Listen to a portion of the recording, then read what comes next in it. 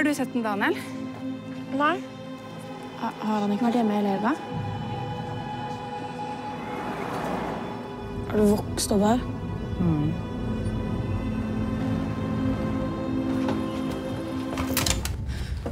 Hva gjør du her? Hørte du ikke at vi kom?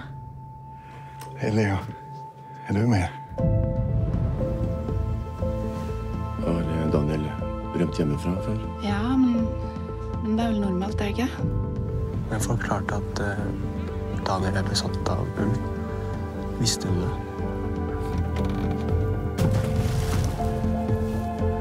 Hvorfor faen skulle du satt unger til vann hvis du ikke klarer å passe på dem? Jeg skal forklare, men ikke her. Pappa forsvant i et jævla hastverk fordi at han følte seg trua.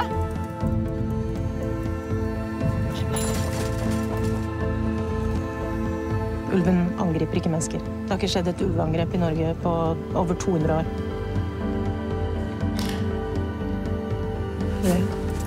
Leo kom igjen i går. Denne bygda her er så blenda av hav. Ah!